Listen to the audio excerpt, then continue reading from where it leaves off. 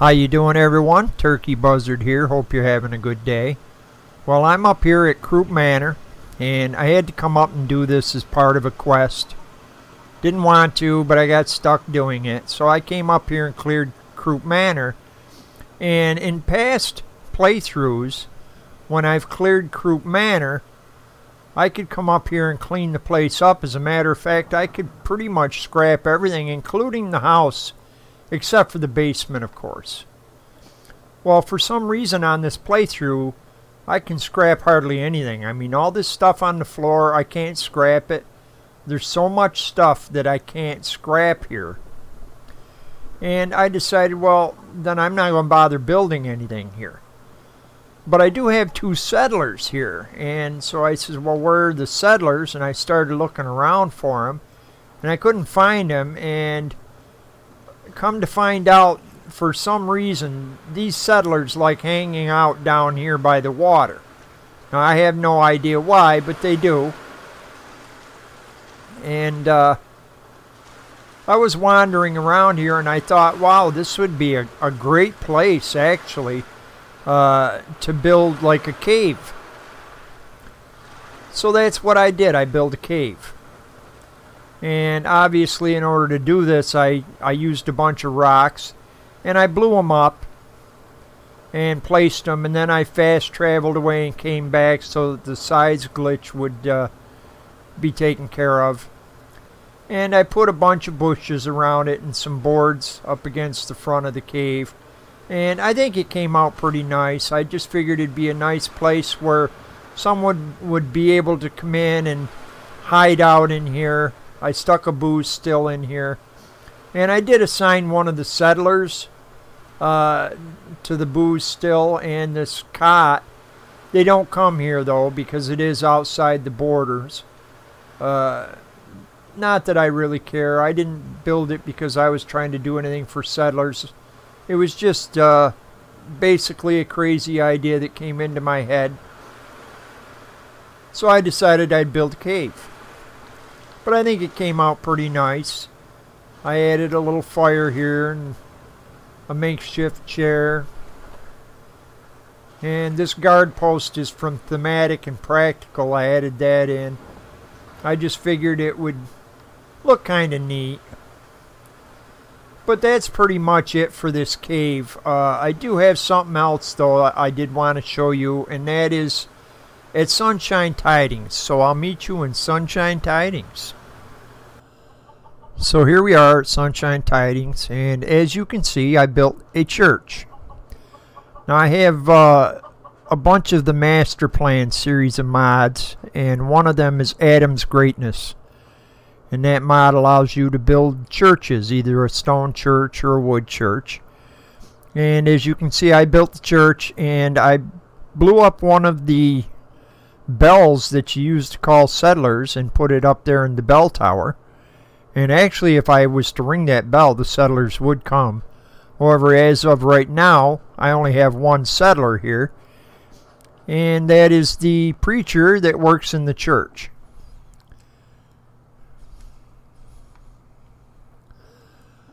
So I'll show you around this church. And as I said, it's it's not a big church. It's kind of small. But I'm considering starting a community here. And this is the organ room.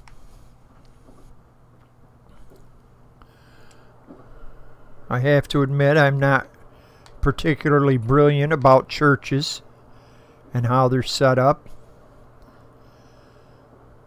But this is just going to be a small community church. And in order to uh, put stairs here, I had to use these circular stairs because uh, normal stairs just take way too much space. So I decided to use circular stairs.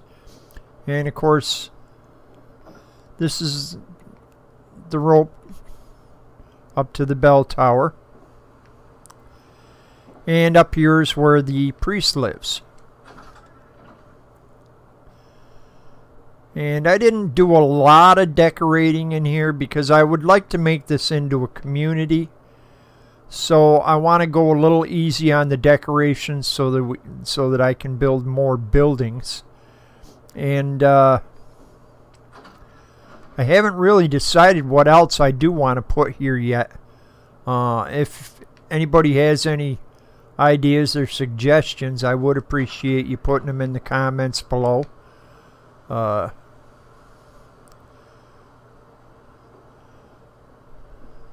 but I also have other things I want to work on. I I originally thought about going down to Murkwater Construction. And uh, this game is supposed to have aliens. You know, that saucer and stuff. So I considered going down there and actually building a spaceship and putting aliens in it. But uh, I went down there and no matter what I did, I could not build a spaceship. There's nothing, there's no materials that they come up with that you can come close to building a spaceship. So I gave up on that idea. And uh, I was talking to Scott from S&G Gaming. Now, uh, if anybody is familiar with S&G Gaming, Scott uh, puts out also videos, and he does uh, uh, a lot of lore-friendly stuff. And he just recently actually changed his name from S&G Gaming to SBrew42. So uh, you should uh, check him out if you haven't. But we were talking, and uh, I don't know how, but he gave me the idea of uh, going down to Murkwater and setting up like a slaver community. Uh, way back when all I had was a, an Xbox 360 and I was playing Fallout 3 uh, they had a slaver community down there. So I think that's what I'm going to do. But I also want to work on this and build a community here. And I do have a start on it. As you can see, I have another building over here. And uh, I have Cabin in the Woods, which gives you this round building. And I put the round building out down and... Uh, I expanded at 4.5 twice, which means in the end this building ended up twice the size that it normally is. And then uh, I originally put a large door in there, but it made me feel like uh, Jack and the Beanstalk uh, with the size of that door. It was huge. So I got rid of the door and I found uh, actually a door wall that fit right in this doorway and another wall that went over top of it. So uh, it worked out well. But I decided to build this sort of like as a community gathering place. And, uh, you know, I basically put a big fireplace in here uh, with a chimney, huge fire, I haven't put any uh, benches or seats or anything in here yet. I don't really know what I want to put in here, tell you the truth. Uh, again, anybody has suggestions or ideas, let me know. I'd be glad to uh, to run with their ideas.